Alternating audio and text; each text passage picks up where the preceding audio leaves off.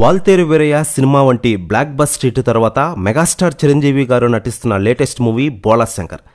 ఇక చిరంజీవి గారు ఇప్పుడు నెక్స్ట్ సినిమాతో హ్యాట్రిక్ విజయం సాధించాలని తహతహలాడుతున్న విషయం అందరికీ తెలిసిందే.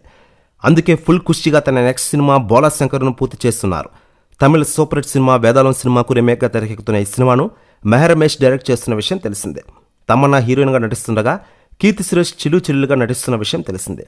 మహతి స్వరసాగర్ సంగీతం అందిస్తున్నారు ఈ సినిమాకి. అలాగే అనిల్ శంకర ఏకే ఎంటర్టైన్మెంట్స్ బ్యానర్పై భారీ బడ్జెట్తో నిర్మిస్తున్న విషయం తెలిసిందే. ఇక ఇలా ఉండగా ఈ సినిమా షూటింగ్ కోసం ఇప్పుడు టీం అంతా కలకత్తా వెళ్ళిన విషయం తెలిసిందే. స్పెషల్ ఫ్లైట్లో వెళ్ళిన పిక్స్ నెట్టింటా వైరల్ అవుతున్నాయి. ఇక తాజాగా మేకర్స్ మరికొన్ని పిక్స్ షేర్ చేశారు. మెగాస్టార్ చిరంజీవి గారి వింటేజ్ హిట్ చూడాలని ముందులో కలకత్తా బ్యాక్డ్రాప్లో తెరకెక్కిన విషయం తెలిసిందే. ఈ సినిమా వైబ్స్ను కూడా ఇప్పుడు బాలాశంకర్కు కలిసి వస్తున్నాయి. దీంతో ఈ సినిమాపై పాజిటివ్ వైబ్స్ స్టార్ట్ అయ్యాయి. ఇక ఇక్కడ టీం రోజు నుండి యాక్షన్ స్టార్ట్ చేసినట్లు మెగాస్టార్ ఆన్ సెట్లో పిక్చర్స్ షేర్ చేయడంతో ఇవి కాస్త నెట్టింట వైరల్ అవుతున్న విషయం అందరికీ తెలిసిందే.